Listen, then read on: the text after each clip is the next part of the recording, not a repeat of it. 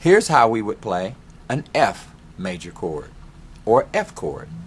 We'd use finger 1, finger 3, finger 5 to play F, A, and C. And to accompany that on the left, we would play F and F.